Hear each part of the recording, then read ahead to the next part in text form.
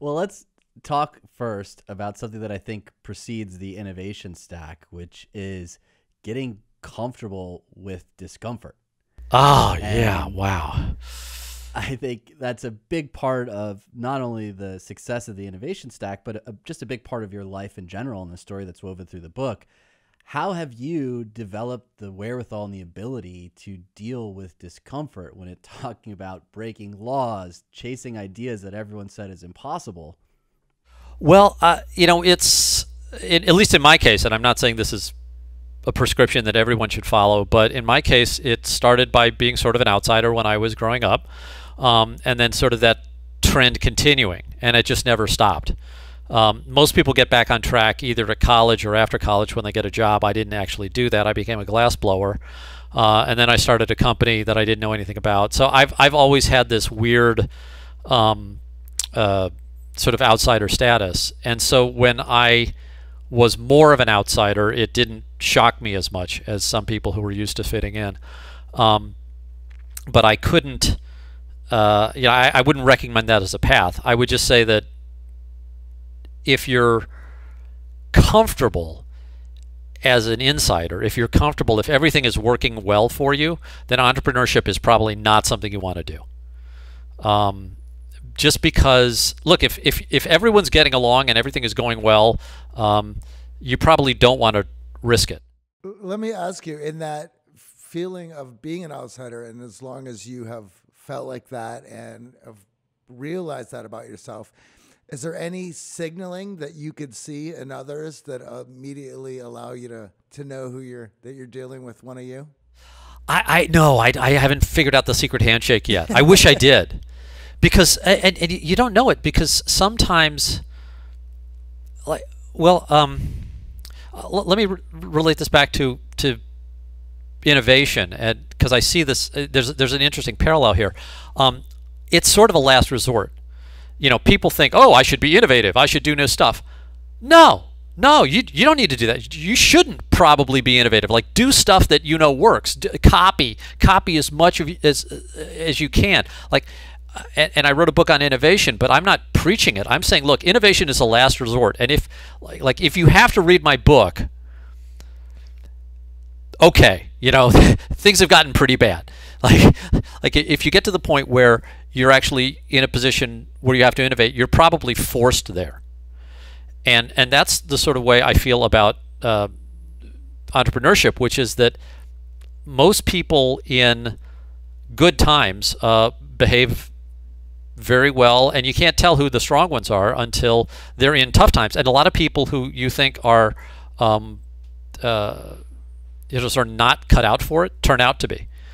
Um, and and there's no way to tell because a lot of the bravado and a lot of the stuff, a lot of the sort of signaling that we try to give to the world to show how tough we are, or how innovative we are, or how you know uh, how bold we are, uh, that's just all crap. Uh, so I, and I've never been able to dif differentiate. Maybe there are people who can, um, but I'm not one of them. I I've been fooled many times.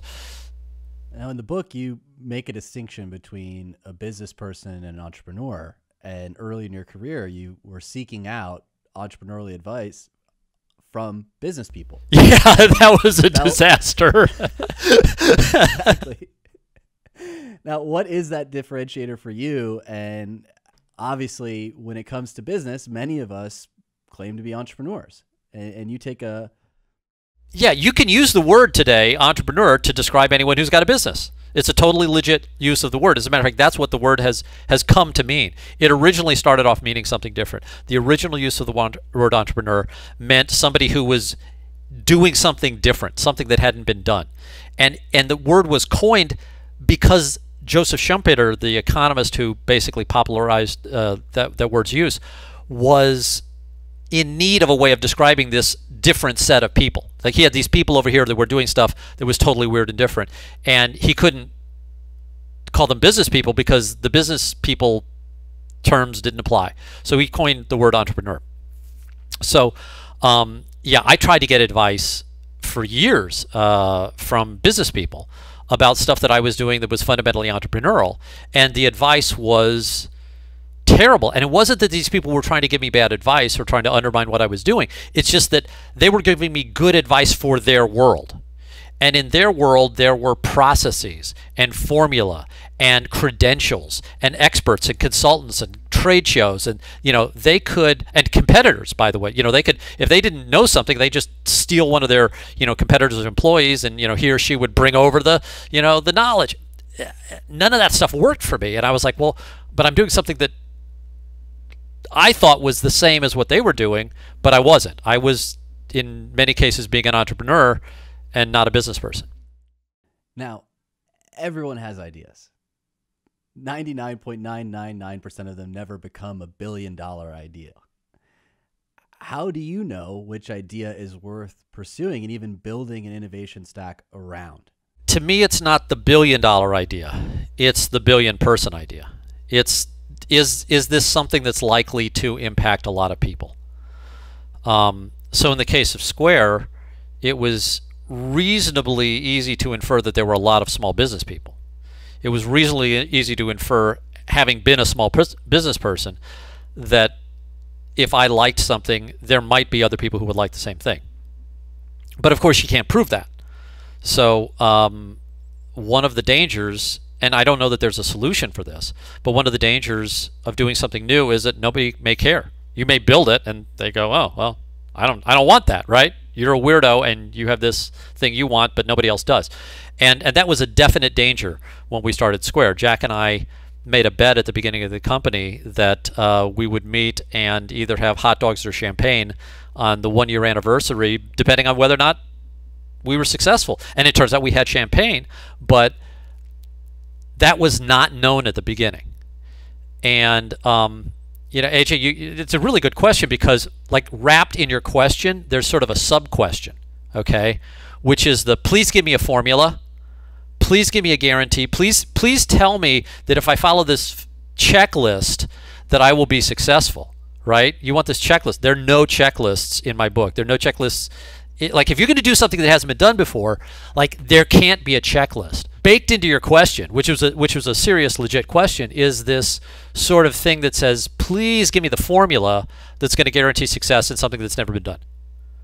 And what I'm telling you is, while there is no formula for that, the best we can do, I think, is sort of discuss what it feels like and what others have have experienced as they go through that process, and then draw those parallels out. Um, not because it's going to give you a checklist, but because if you find yourself in that situation, one of the things that will almost certainly happen, and it certainly happened to me, is you will start doubting yourself. You will deeply, deeply doubt what you're doing because all your friends who care about you will be telling you, "Don't do this." Uh, your physiology will feel weird because you're you're separating from the herd, and and and people are comfortable when they're together, and when you start separating too much, like humans get nervous. That's that's how we're wired, and uh, and and and if you see at least that there is a pattern of success that other people have followed in the past and you recognize you're on that path, you may not quit as quickly. Well, that's your argument around the business person versus the entrepreneur. Yeah. Right? The, the business person wants the checklist so they can follow the path that's carved out for them and make sure that they have processes around exactly each step so that they can succeed. What I recognized in the book was this blend of audacity but humility because you had to be audacious to take on banks, break laws, dive in headfirst to merchant processing. And not only that, really envision a market that no one else saw. Like as you were talking about the pyramid and, and adding that other layer to the pyramid that no one was servicing, no one was talking about, merchants who are doing less than $10,000 a year as an opportunity to get to the billion, to get to the level that you guys had put together. You know, I wonder is that part of your personality, both of those, or is that a combination of you and Jack teaming up together? Is one of you audacious and one of you's more humble, or how did that work to have the chutzpah to chase after this, but at the same time admit I don't know everything. We're gonna break stuff along the way. And just to add to that question, I remember the first time I had seen Square, and it was it was mind blowing. And my first thought was, how is this? How is that legal? well, you probably saw the early version and you wouldn't have liked the answer. so in reading this, I kept thinking back to when I had first seen it and what that meant. And I mean, immediately when I when I had seen it, how it worked, and it's- I also have a, a, a history in the music industry, and it might have been the first time I seen it was was a merch person for a local band or a band Oh, that was just touring through town, and they took cards and. well, I know. and I was I was mind blowing, and I, I just couldn't believe it. And of course, it was wasn't too long after that before I saw it everywhere. So just to to bring that stunning visual and what it meant for for for all of us who've seen it for the first time, and what you had to accomplish to to make that happen. Well, I mean, so you know, the audacity and humility are they're, kind of opposites, but not really. Like the the audacious is like, like that's the impulse that gets you going, and then from that point, you better be humble, right? So you sit there and say, "I'm going to go here," and that's the audacious part. I'm going to do this thing that hasn't been done, um, and and if you commit to that, if you sort of say, "Well, I'm going to do this no matter what it takes," then the rest of the journey is probably uh, it's it, it, it's it's it's humble up to the point where you quit, and you don't quit, right? So it's um, uh, and I talk about this in the book. Like I've got terrible motivation problems. Like I'm a guy who will sleep in. Um, I'm I'm I'm really in my mind very lazy and very unmotivated and you know very undisciplined. Um, but I'm also not willing to die. Like I'm also like a survivor. I'm not somebody who's who's going to just roll over. So I put myself in situations where that survival instinct gives me the motivation, and I find that actually easier for me to behave.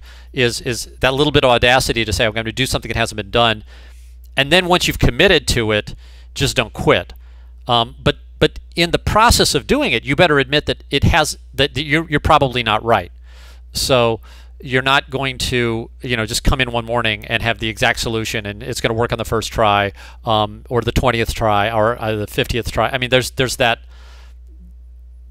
like if you think you're infallible uh, that's a bad way to be. I mean you, you, you there, there are probably some professions where that's a good thing. Entrepreneurship is not one.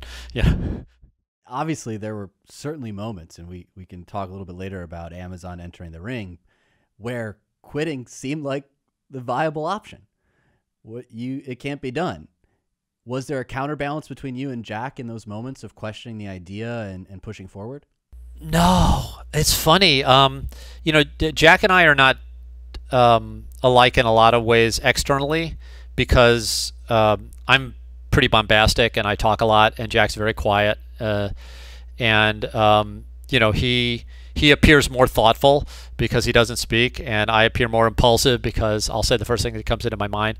But um, we're remarkably similarly aligned when it comes to the problems that we choose to face and the way we think about them. So, like for me, things got exciting at the company when I realized that what we were doing broke a bunch of laws and and was therefore going to be really difficult to do.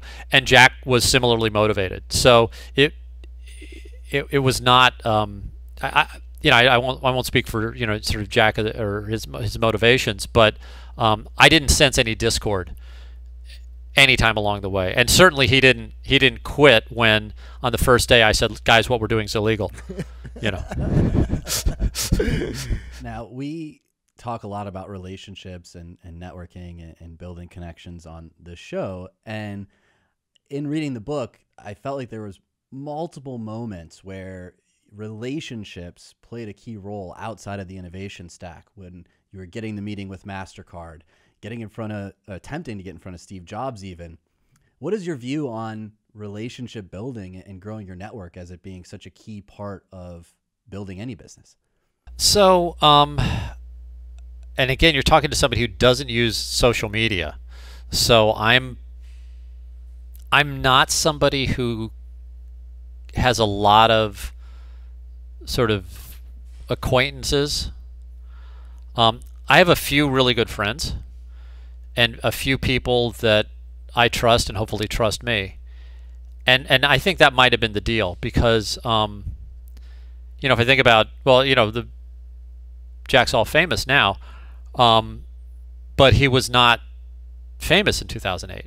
You know, he was a guy I knew and liked, but they just kicked him out of Twitter. And if you look at the stories back then, uh, Ev Biz had basically written him out of the story. They had deleted his name along with another guy um, uh, from the Twitter history. He was being erased, so he wasn't a big big shot back then. Um, but there was something about working with him that was appealing to me, and I guess there's something about working with me that was appealing to him. Um, and that was a relationship that it was it was surprising because I mean he was not living in St. Louis. It wasn't like we were hanging out all the time. He just came into town and uh, and asked me to start a company, and uh, that was um, I, I, don't know why he made that decision, but uh, you know he didn't ask anybody that was in his uh, circle in California. So um, and and look, I think uh, obviously relationships are super important, and I guess they can be cultivated over social media and uh, you know tweets and winks and stuff like that. But I I've not chosen to do things that way. I would much rather sit down with a person. Right. And in getting the pitch together and practicing it and you guys tag teaming it, there's a part in the book where you talk about having the pitch down so well that all you really had to do was focus on the reaction. Yes. Oh, that was start important. reading people. Yeah. And that's a skill set in and of itself. And I know we talk about it in our coaching programs how important it is to understand what it is that your pitch is inside and out, understand yourself inside and out to be better and more present in conversation. But then really it's the focus is not on you. It's it's on the person who's receiving the message, receiving the pitch, receiving the conversation and being able to read them and their reactions is such a key part of the equation. How have you developed that skill in yourself? Repetition is the answer. So what I do is if I have something that's important to do well, I'll have to do it a hundred times. Um, so in our case, we'd pitched square, maybe not a hundred times, but well, actually, you know, if you count all the informal ones, yeah, easily a hundred times. Um, by the time we got to this one critical meeting with Mastercard, which was going to make or break the company, um, and and but and by that time we were so good at the pitch that it was unconscious. Like jack had his part and i had my part and we were both so comfortable that it wasn't even like we felt comfortable. It just it was this thing that was going to just magically happen. And and so our attention was out into the room into the you know reactions of the people around us. And i think that's that's super important. Um, i don't know a way to get there except through repeating. Um, but one i guess i guess one piece of advice i would offer if you know you're in a situation where you have to perfect something you know don't start on the top prospects you know i, I walking across the parking lot today i saw a tennis ball that was all chewed up and had dog spit all over it and i almost grabbed it right because i like you know, I'm trying to learn how to play tennis a little better. And like I need crappy tennis balls because I will hit them over the fence into the creek. I mean, like I like a dog spit covered tennis ball to me is still something I can whack a couple of times with a racket, and um, it's uh, it's crazy to think of people who you know prioritize their top you know their top candidates. They start at the top of the list. I, I mean, if if you prioritize it, like start at the middle or the bottom, and and get your pitch down when it doesn't matter. Like whack the dog spit covered tennis balls into the creek, and then you know wait the new bouncy ones straight out of the can until your game's actually good. Well, I think a lot of it has to in in people's minds, they don't see a reason to be motivated to get their pitch down unless they do have the meeting with their number one guy. Where the reality is that you need to be motivated within and and for the product itself and the pitch itself in order to get good so that when you do have those opportunities you're going to knock them out of the park it's uh, you're going to make time to do the things that you want to do. And it, I, for somebody, for AJ and I, who've been doing this for 15 years, uh, we tend to throw ourselves into in, in the way of the car uh, to just to to practice what we're going to do about it for those moments. And uh, I, I guess, I guess the, the part is for the people who are looking for, for that motivation or what would you tell them in that, in that position while they're, they're waiting for these opportunities? Well, I, I would just say this that um, you don't get to plan your opportunities. You don't get to schedule opportunity. Um, you don't even necessarily get to prepare for it, but the sum total of your preparation is going to be valuable at, at some point, right? You just don't get to choose when that moment is. Um, so it wasn't like we knew that we were going to have this big meeting a year and a half into the company that was going to make or break us. Okay, but we were preparing as if that was happening. But it wasn't even a conscious prep. It was just like this crafting what we were saying and what we were doing. Um, and a lot of it was more doing than saying. Like our pitch was mostly visual. Like when we, I, I will never describe something that I can show. Okay. Um, and I will never show something that I can let the other person do by themselves. Right. So my best pitch is I hand a product and I sit back and I go, there and I'm totally silent. And there's this awkward moment where the person has to realize to do it themselves, and then usually they do, and and then it's awesome. That led to 147 reasons that this could fail. yeah. It, those practice repetitions, the list went from 100 to 101 and it allowed you to see other angles and get the idea to a place that VCs would say, "Take my money, let's go." Oh yeah, I mean the VCs were getting pissed off when we didn't take their money. Like they were they were fighting to get into the round, um, which was really uh, you know that's that's what everybody wants, right? Um, but the way you do that is by at least the way we did it. I, again, there's a lot of people who do it differently. The way we did it was by confronting all the problems that we were likely to have head on.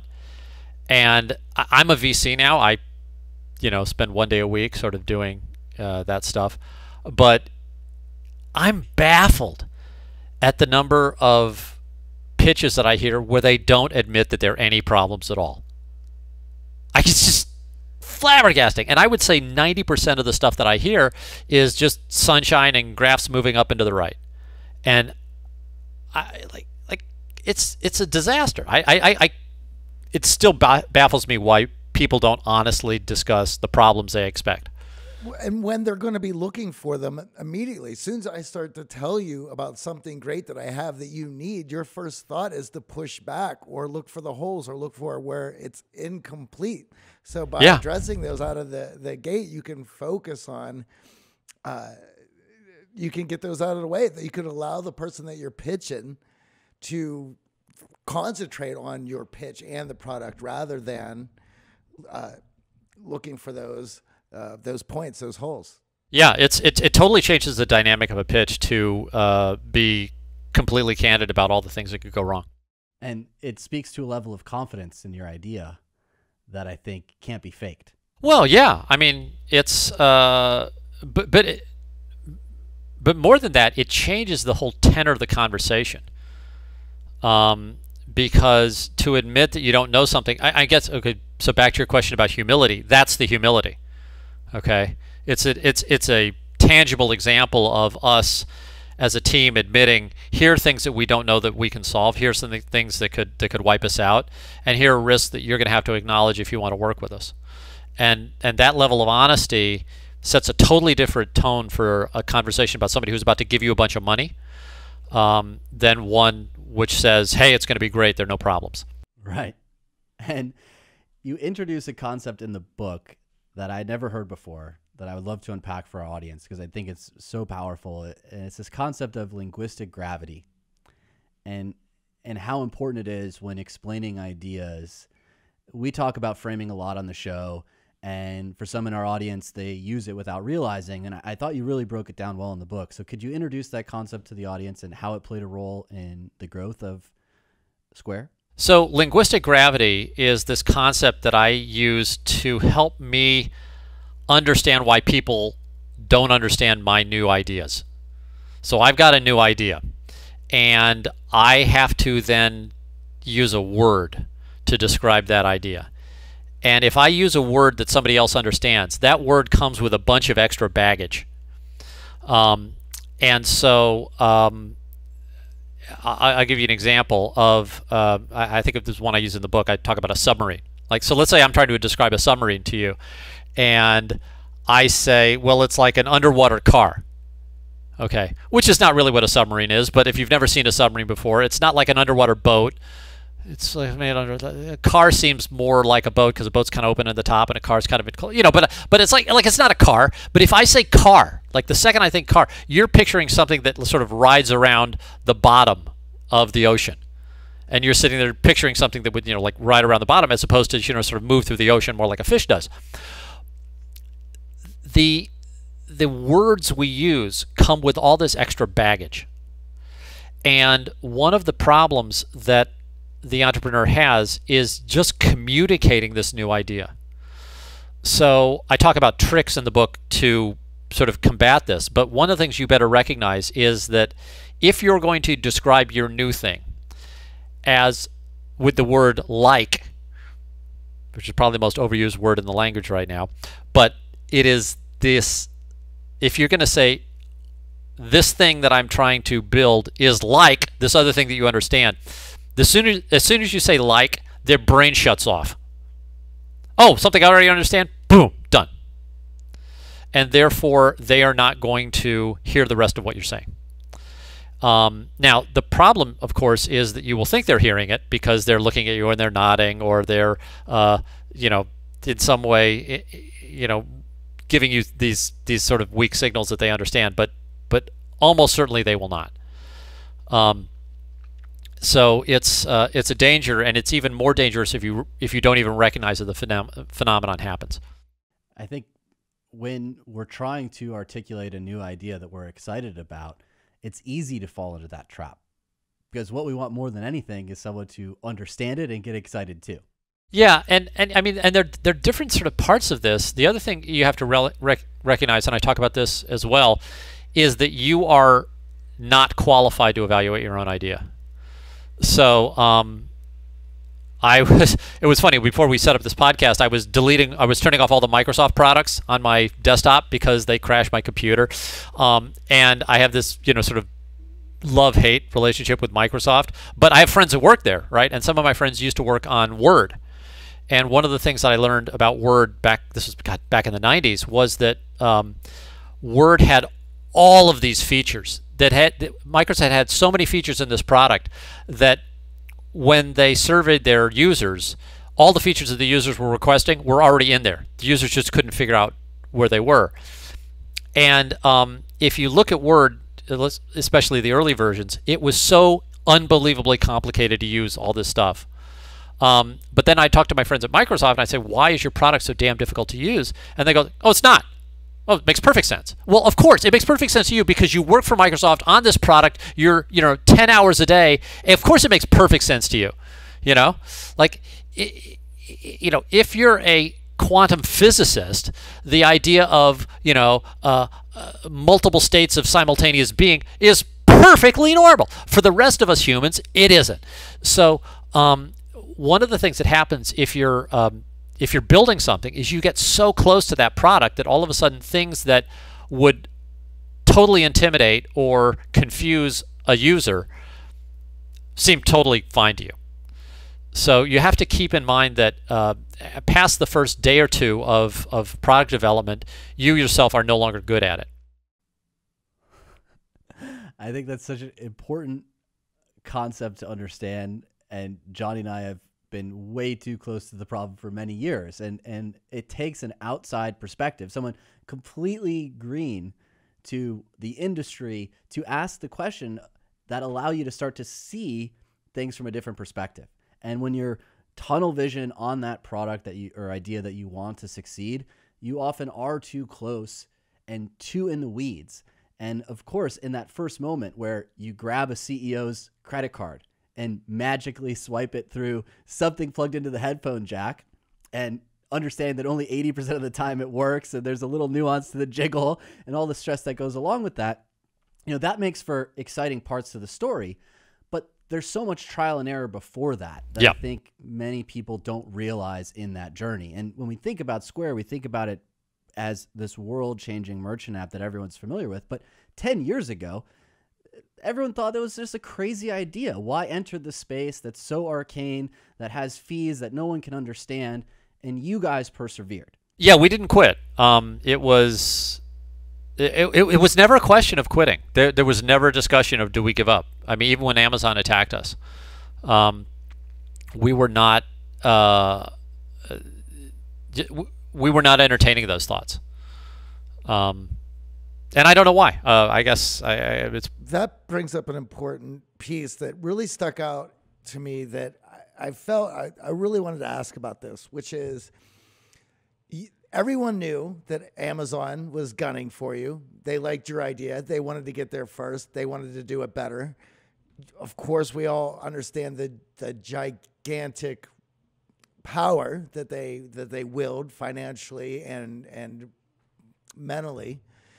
And yet you kept every the culture in the office calm, cool, at least that appeared to be in the book calm, cool, collected, and everyone focused on moving forward. No one wrecking anything, uh, no one backpedaling, uh, no one second guessing what you guys were doing. And so, is there anything you could speak to there of how you were able to do that? Or am I totally misreading that? It was absolutely pandemonium in the office. Well, I, I, I would say yes to both, okay? Because it, it was pandemonium, but it was not more pandemonium. Got okay, so what happened when, when Amazon attacked us, when Amazon copied our product and undercut our price, we were already in a in a frantic state of growth. Okay, so at the time Square was growing 10% week over week, which means the company was doubling in size every other month. So just think of the strains on all systems, like the bathrooms to the servers to like every like people are stressed out. So so now add to that level of stress, oh, and Amazon's gunning for you. Okay, now you may sit there and go, oh crap, okay? But the question is, can you be more stressed out? Like, is is is the fact that on top of all that, now we have Amazon ch- chasing us? Does that does that take the absolute level of stress up a notch? And the answer is not really. Um, in our case, because we were so darn busy with stuff that we knew we had to do for our customers, and we had you know hundreds of thousands of them, if not millions, by that time. It really didn't affect what we did that much. So there wasn't a state change. Um, the second thing about the Amazon attack was we didn't know what to do. And you know when when Amazon did that, the first thing I did, uh, along with some of the executive team, was we started looking for other companies that had beaten Amazon as startups, and found there were none. Like it was just a null set. There was no no company had as a startup had taken on Amazon and won. And so we can't be a good feeling. Well, it was terrible, but like I, I, it was we were probably lucky because we would have been strongly tempted to copy what they did as opposed to do what we knew we should be doing. And but because we didn't have any, you know, instruction manual on how to get out of this mess, um, and then we started looking at what we were doing and couldn't think of anything different to do. And then our conclusion was, well, I guess we'll just keep doing the same stuff. Yeah, like we're not we're not going to change anything. So I would say Square did not react externally at all to the Amazon attack, and and yet we still won. And that that actually, and I tell this at the beginning of the book, that was the reason I wrote the thing, was because even after we won, it was gnawing away at me to answer the question why. You know, it's like you know, you read these stories about these guys that, you know, fall out of planes and their parachutes don't open and they fall to the ground and live, right? You know, a guy falls out of a plane, splats. Okay, we expect him to die. But like if you fall out of a plane from 30,000 feet, we expect you to die. Like that's that's the expectation. If you live, now we have to have an explanation. Like what the heck happened? What you know, like what squirrel DNA do you have, or what you know soft tree did you land? Like I don't know what happened to allow you to live, but I felt like a survivor. I felt like somebody had fallen out of a plane thirty thousand feet and walked away from it, and and I had to spend basically two years of my life answering that question because it was it was just gnawing away at me, and and then I found this thing that I call an innovation stack that turned out to be this this sort of pattern that other companies throughout history have had. And I was like, oh, okay, now that makes sense. Now it doesn't seem random. It's like, okay, it's a rare event, okay, but it's not a random event. Well, let's unpack innovation stack for our audience and walk through what Square's innovation stack was because I think again, innovation is such a loaded word. And when many people think of innovation, they think of, you know, fireworks, explosion, this huge aha moment. And, and what the book really articulates is a systematic adjustment to the facts and data in front of you and solving the problems as they arise instead of sitting there for days with a blank whiteboard trying to come up with your eureka moment. Yeah. So, what do you mean by innovation stack? And uh, I'd love to unpack how you're using this now with your new venture, LaunchCode. So, um, an innovation stack is a series of reactions. And I say reactions because I don't believe that most innovation is voluntary. Okay? Like most innovation is if it's if you sit there and say I need to be creative and innovative, that's probably not going to work. Um, what works is I'm not going to die and I need to do something different because nothing around nothing that I have right now works, so I have to figure out something new. Okay, and the dirty little secret about doing something new is that's probably not going to work either. You know, so you're going to have to try multiple new things, and some of those things will work, but then they'll cause other problems. So now you're going to have to have new solutions to those other problems, assuming you can't copy the solution for that. And this process repeats and repeats and repeats. And if you look at these companies that I study in the book, all of them made these choices to create new offerings. You know, affordable furniture, uh, low cost travel, uh, banking open to normal people, uh, credit card processing for small merchants, including individuals. Um, you know, electric cars. Like you can, you can. They're, they're literally thousands of examples of these. But if you look at the process that these companies go through, it's it's building a lot of different innovations, and then those innovations themselves affect each other.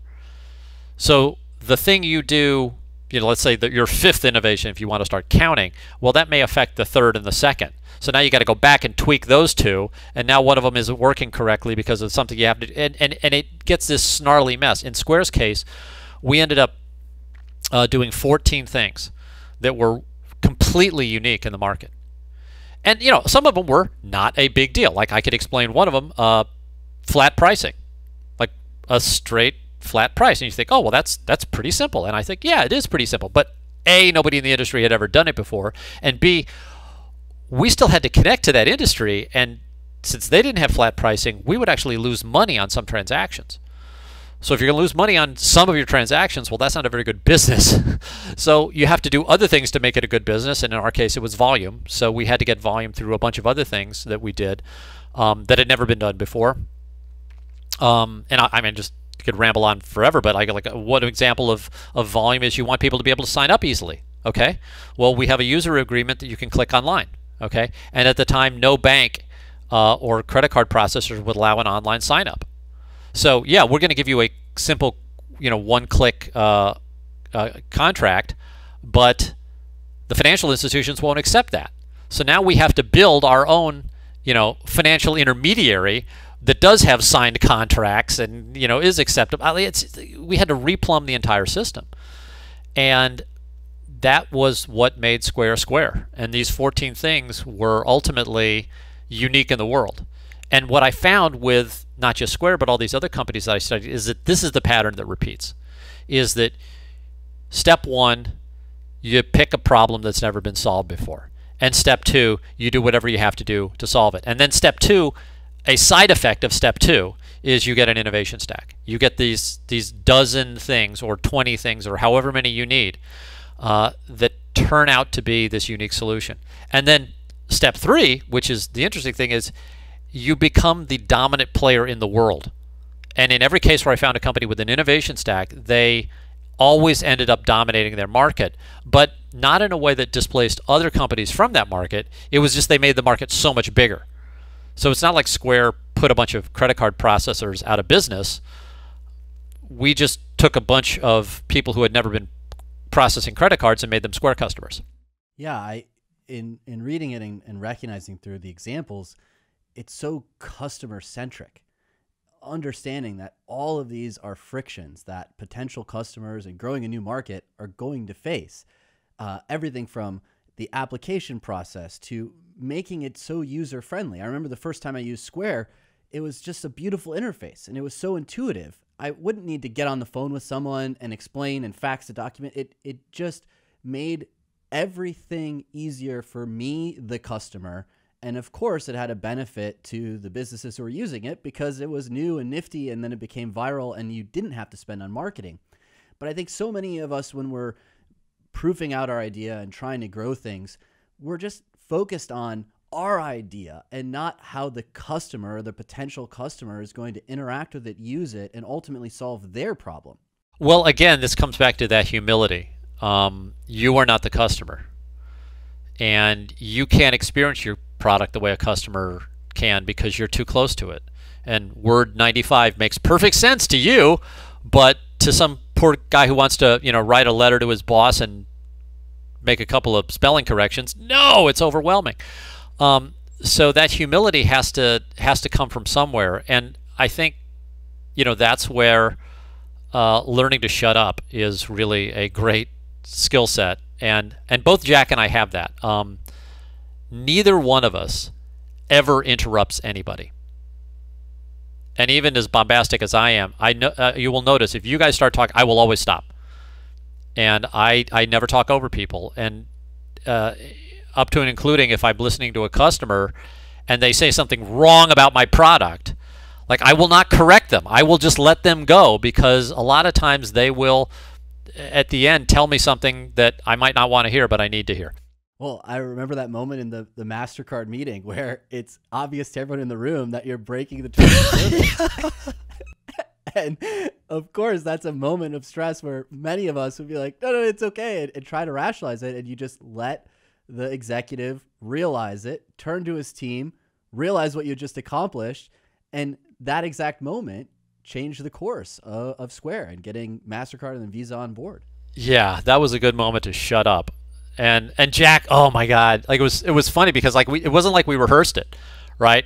I just knew he was not going to say anything, and I was damn sure I was not going to say anything. I was like, I will not say anything, and I was like, and I and I just I had total faith that Jack was just going to be monk-like in his silence, and we let the you know because that's the other thing. If you interrupt somebody, you only ever get their superficial ideas you because if you think about a real thoughtful response to an insightful question or even a dumb question, but like a, a thoughtful response of any type, it's not going to come out some you know sort of instantaneous platitude because like there's no thought to that. But if you actually think about it, there's going to be a pause. There's going to be that you know that, that, that well, it's a moment like I'm having right now. Like I'm, I'm sitting here trying to get this thought out, and I'm, I'm formulating the thought as I.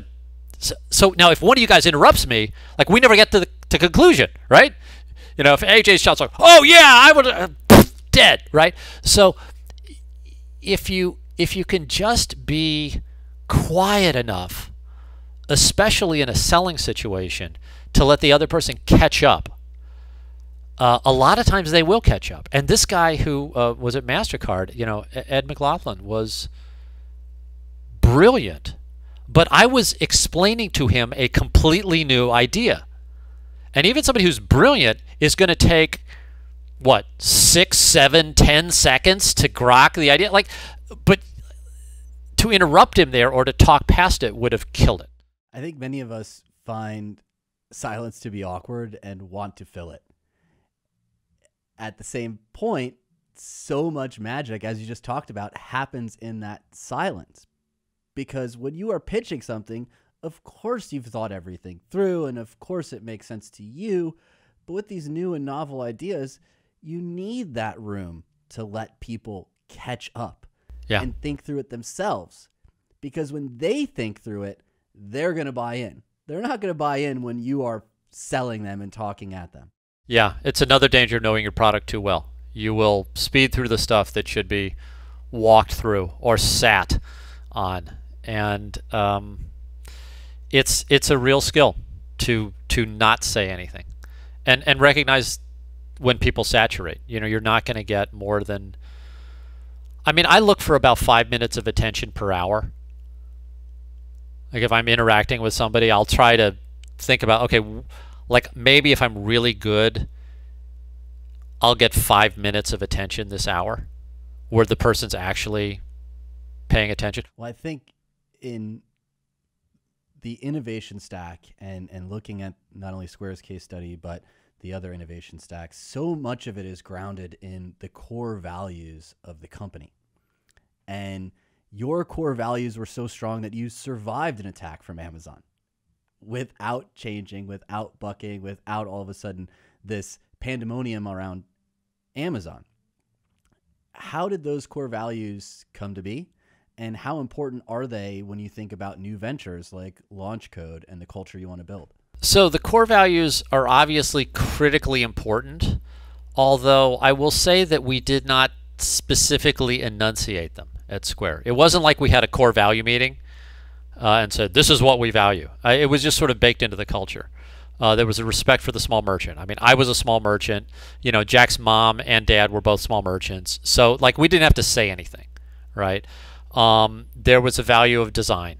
There was there were the, there were these certain values. Um, you know, respect for uh, uh, how difficult it is to, you know, run a business. That was that was sort of baked into the culture, and I don't think that any company is going to make a meaningful change in uh, uh, you know in the world unless they've unless they've got values that align with what the customers want.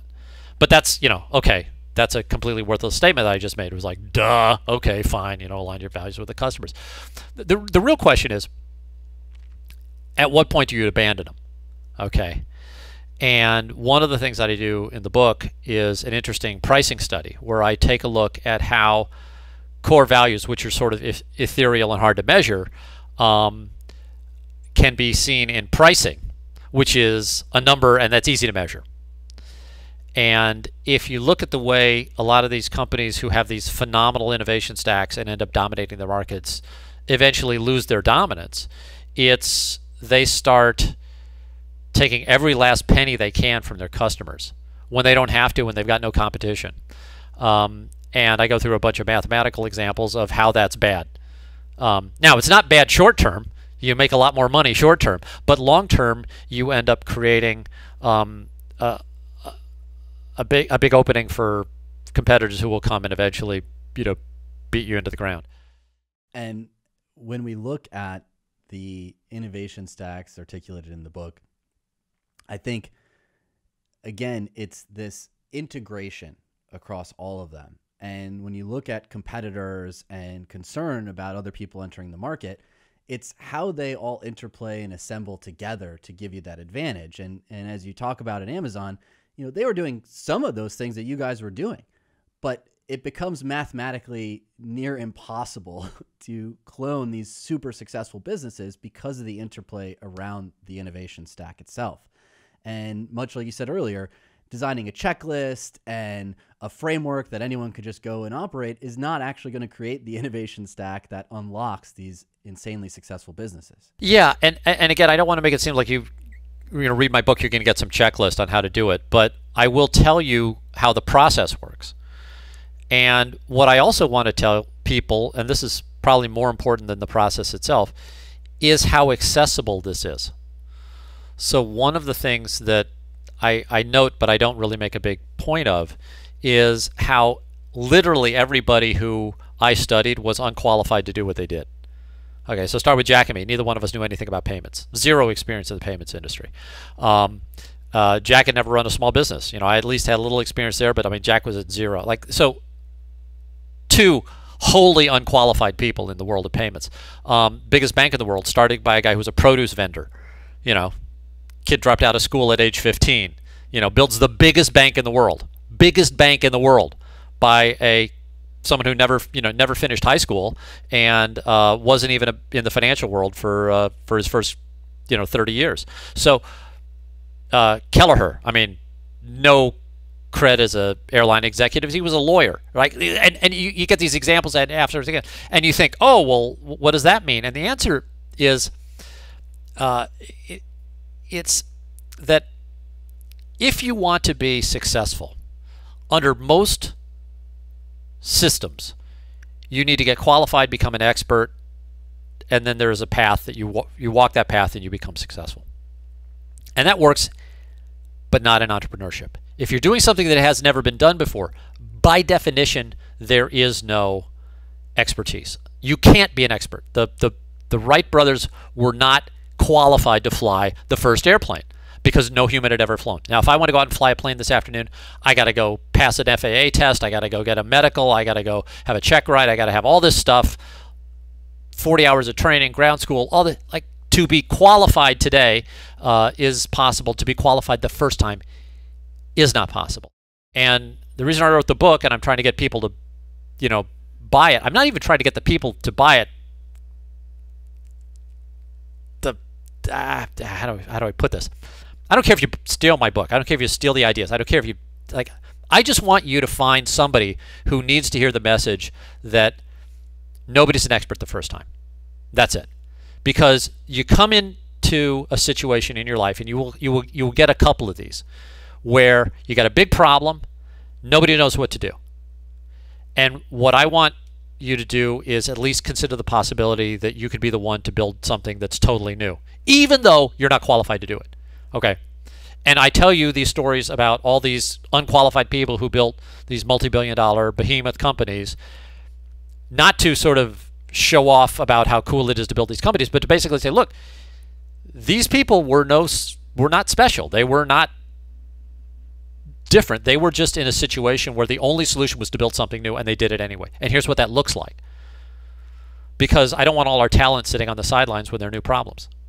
That's the thing. The, yeah. the, the, point of the book is to is, is it's yeah yeah it's for you to read it, but really what you want to do because everybody knows somebody they should hand a copy to and say get off the sideline next time you feel like you're unqualified because you'll always be unqualified to do something that's the first in human history.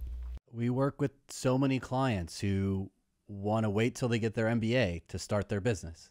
They have this idea, but to your exact point, they want to become the expert when in reality, what we're talking about here with the innovation stack is you become the expert along the way, failing, iterating, and understanding the interplay in these complex systems that can't be taught by passively sitting in a classroom and, and listening how other people did it. Yeah. And, and, and you know, don't don't blame those people because that's how we're all raised. Like we are all raised to worship expertise, right? You have to be qualified to do these things. And um, if you're not, uh, society says, well, go go back to school or go take this course or you know go on YouTube and look at somebody else teaching you how to do it. Uh, well, it's not always possible. I think it also lends itself to flawed thought patterns. I mean, of course, if we're going to take on something, we want to think about well, why shouldn't I do this? What would be in my way? What would stop me? And of course, if that's the way you're thinking, you're going to put a list together of all these reasons why you shouldn't be doing it. And then you'll finally get to a point where like, yeah, I got enough stuff on there that allows me to feel good about not moving forward.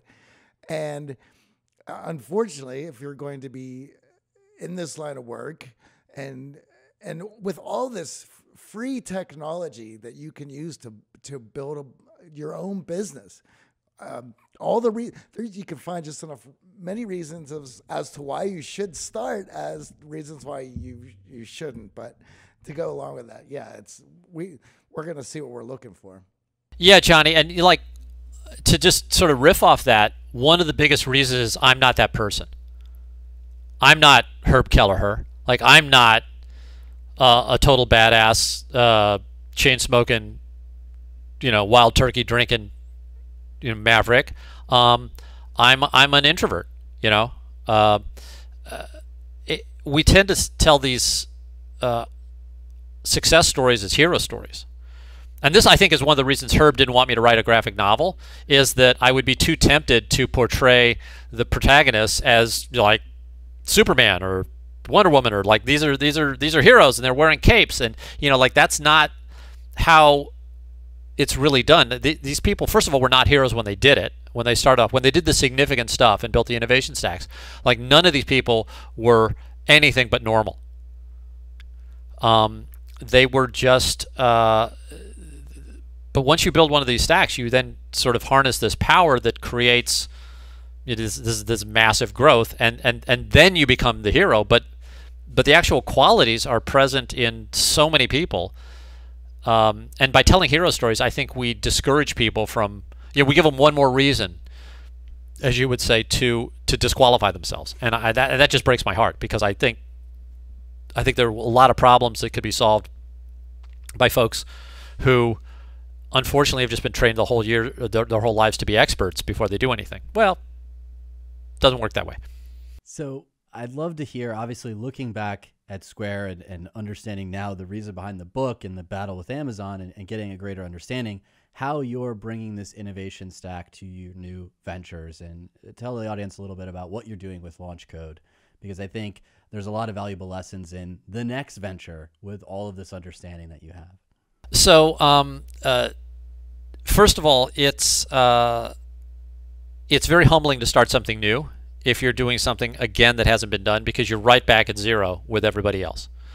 Uh, so the fact that you've been successful doing it before is only valuable up to the point where you help where, where you recognize some of the stuff again you start seeing the same problems or, or similar types of problems and maybe a little bit less intimidated um, but aside from that it's not like you've got any new answers so um, uh, five years after uh, starting Square, I started a nonprofit called Launch Code. I guess it was three years after starting Square, three or four.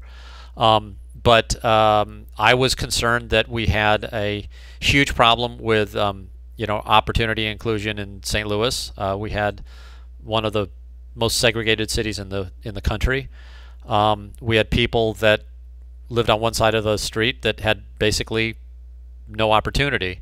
And at the same time, I knew we had a huge shortage of programmers. So I thought, wonder if we could train up 100,000 programmers, um, which is the number of people that live below the poverty line in my hometown, about 100,000. And um, so I started this nonprofit called Launch Code, and uh, we began by placing people who knew how to program into jobs. And um, it, that doesn't sound hard but it turns out that it's really, really difficult to place programmers with weird credentials. People want to hire you as a programmer if you've got two years of experience and a degree. And if you don't have that, or if you don't look like what they expect you to look like, um, you will not get a job, even though you've got the skill. So Launch Code started as a placement program, and we quickly evolved an innovation stack of our own, which allowed us to take people who didn't have traditional credentials and get them jobs that then led to another problem, which is that, well, we quickly ran out of people that had the skills. So then we had to open up, open up a training program. But we didn't do that normally either. We did a training um, in, in, in, very, very different ways, uh, mostly to allow volume because uh, our, our, our, training is free. And it turns out that free is really magic because um, if your program is free, you can maintain the quality standards for graduation that you can't if you're taking somebody's money. So, I mean, let's say AJ wants to be a programmer and he pays me 10,000 bucks for a boot camp or something. Okay. And let's say he's almost good enough to pass. Almost, but not quite. Am I going to say, "Oh, sorry AJ, you didn't make it," or am I going to say, "Hey, thanks for the 10 grand, here's a piece of paper." It turns out uh, that most of the paid education that happens in programming has this way of getting slowly undermined by the fact that the students are actually customers.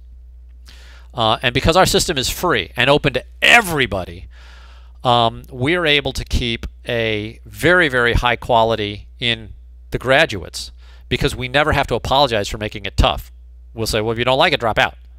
Like, because there are 50 guys that will take your seat, um, but we don't have to we don't have to lower our standards ever because we're not charging you anything. Um, so it turns out that works really well.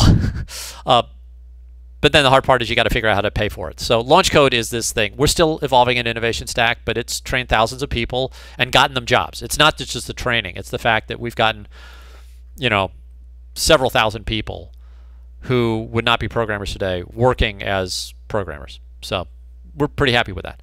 Yeah, and I know many in our audience, especially with what's going on with COVID, are probably dabbling, thought about coding or career change. And it's an awesome opportunity that you're providing for people to take that leap. Uh, I know when it comes to the coding boot camps, especially the cost, they're they're pretty expensive, and to serve uh, the clients and the prospective students that you are, uh, many of them would be priced out of your typical coding boot camp. Launch code, like if you finish the launch code program, we will get you a job flat out. I think our placement rate, it used to be 100%, but it's now like 95%. But that's 95% on the first try.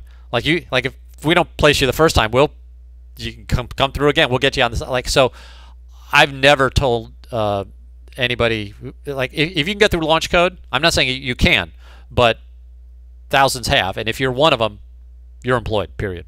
Before we wrap, we love asking all of our guests what their X factor is. When a skill set and a mindset come together to make you unique and successful, what do you think your X factor is? I think I vastly underestimate how difficult something is going to be.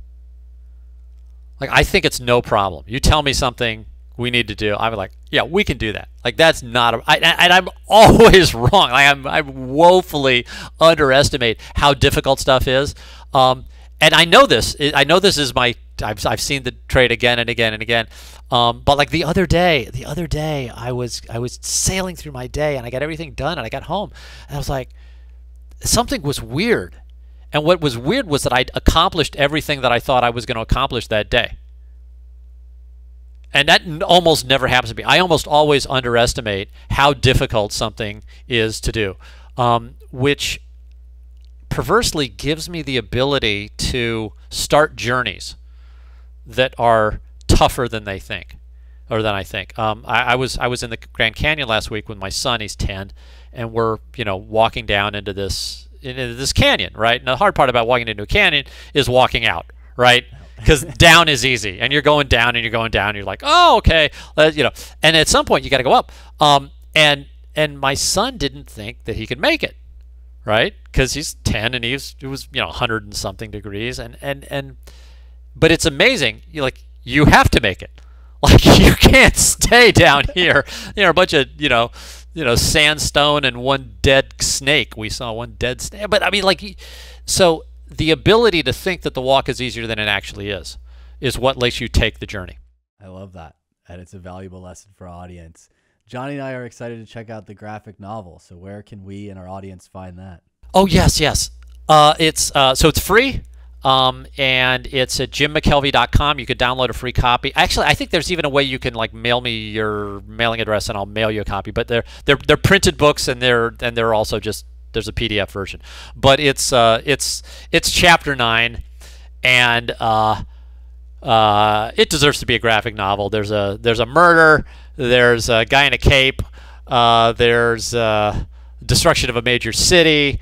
Uh, looting, horses uh, gunshots. I mean, it's just like, yeah, be- better to tell it with pen and ink.